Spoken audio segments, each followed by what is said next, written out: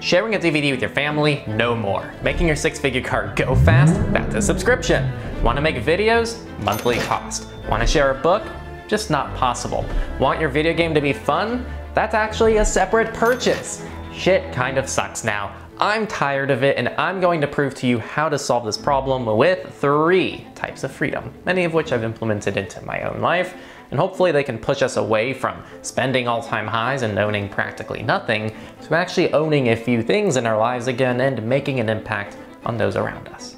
It's always been weird to me how comfortable people are uploading their sensitive data to just random providers that store it for you in the cloud and can access all of your data. Whether you're a student taking notes or you're somebody who needs to journal every day or you're a professional who wants to do scripts for videos like this one or you just need to be able to send PDFs or other documents for your company, Notesnook is a great option that actually protects your data via end-to-end -end encryption in an open source suite. Notesnook not only protects that data, but they take it a step further because they actually try to give you the same features you're familiar with with other alternatives like Obsidian, Evernote, and whatnot. And so if you're somebody who's trying to migrate away from things like Evernote to more privacy-friendly alternatives that actually let you control and own your data, I highly recommend checking out Notesnook. They're a wonderful service and they actually have a free plan so you can go ahead and try it out before you pay for it. Check out Notesnook down in the description. We'll leave a link down there. There's also a link on the screen. And now back to the video.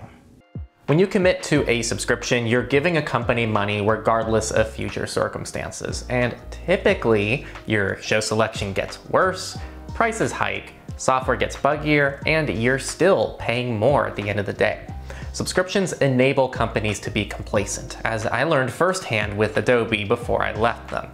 This step is simple and the most critical, and it's to reduce subscriptions in your life. Instead of being stuck with Netflix's awful selection every month where you mindlessly look for something to watch, you can individually choose to watch what you want to by renting a specific show or movie. You don't own it, but it's at least not a subscription. If you're a content creator, there are paid one-time alternatives to Adobe that can even be better, which have raving reviews by yours truly as well. These examples result in you getting a similar end product without needing a subscription, which gives you more ownership and reduces a company's ability to be complacent and ruin the experience over time. I already hear you typing about how this can be more expensive, but the reality is it's not always true. Good number of people are paying for things they don't even use or know they still have. So while subscriptions are enticing in the short term, they're easily exploited in the long run to take advantage of users and maybe even cost more. And for myself, I guarantee you I've saved hundreds of dollars a year by moving to one-time purchases, just Adobe alone.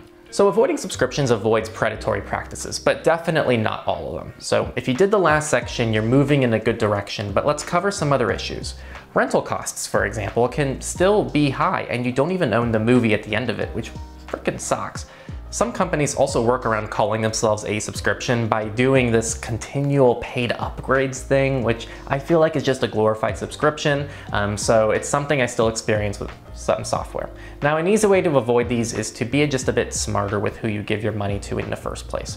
Not too long ago, Blockbuster meant one person rented a film and multiple people could watch it, killed off by our good friend Netflix, or if a person had a PlayStation 2, as long as they had a memory card in the game, they didn't even need the console. They just would go to their friend and play the same game. That's also being killed off. If you bought a book, you were able to lend it to a friend, and that's one of the things I really miss, and these concepts don't need to die. Your library has computers, video games, books, TV shows, and many even rent out laptops. And also your friends and family likely own things that can be shared. Sites like alternativeto.net make it easy to find great free alternatives to software you currently pay for.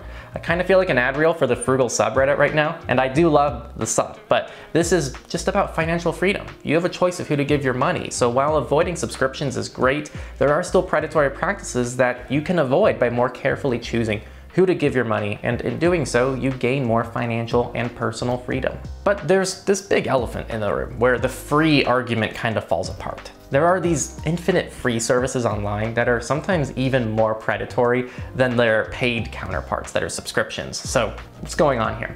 Well, these services are typically in the context of for-profit companies who release free services with no clear business model.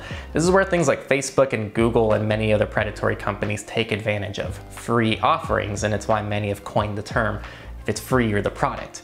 Now I do want to add nuance to this because it's not true in all contexts. So there are free services that are not predatory. And you might be asking, how are these free services different from these? Well, these are free software, as in freedom, not money.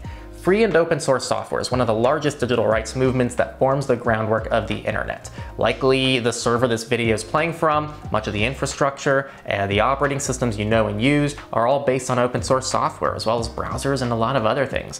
When something's open source, the software is available for everyone to view and contribute to, or even fork to make it their own thing. It's a community service for the community.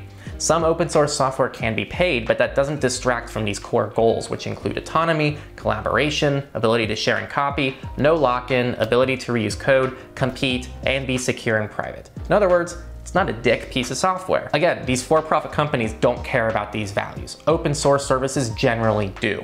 Even when companies do cool things like have lifetime plans, they can always revoke it and force you into a newer subscription ecosystem, like Adobe's done.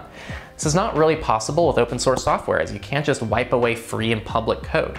For me, Alternativeto.net was a great tool in finding these alternatives that were open source. So yes, if it's free, you're the product. Unless it's open source or a community-driven project, not dependent on maximizing profits. Now, a lot of the concepts in this video seem contradictory, so let me summarize. Worst case scenario, this is a spectrum. You're with a company trapping you into their subscription ecosystem with the rising prices and a worsening user experience. Escape it at all costs, just trust me on this one, it doesn't get better. Next best are services that allow you to purchase an individual product that you have a layer of ownership over.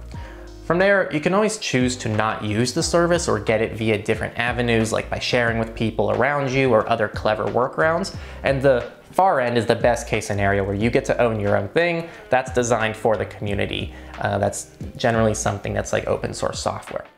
So here's what I did that I recommend you all do too. Make a list of all services you consistently pay for, subscriptions, software on your devices, and anything else. Start by seeing what you simply don't need. From there, see what can be migrated away from a subscription to something you have more control over. Those are already two big shifts. Then you can see what can be shifted to either entirely free or ideally open source options that give you the utmost control where you can.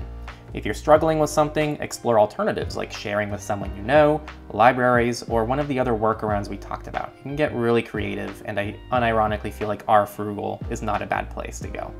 This can take some time to work through everything, so just make positive steps at your own pace, and over time you can make a massive difference.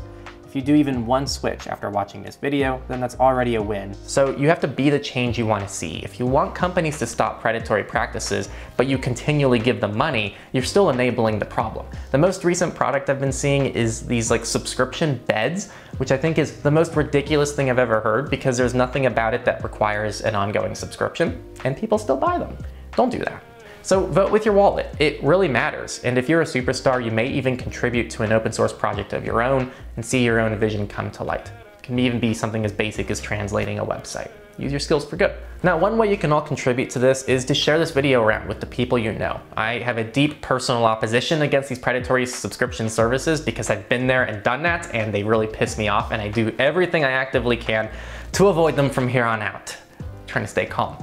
Um, and it can be really empowering. So this isn't a negative thing. You can feel really empowered. You can feel really good when you move away from these providers. So go on a journey and see what it's like. You won't regret it.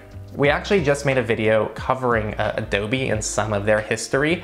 Uh, like they actually paywalled security updates and some other crappy stuff that I'll leave right here. So go check out that video to learn what some of these practices look like. Thank you to our sponsor Notesnook, and we'll see you next time on Techlore. Thank you for watching and go make a difference out there.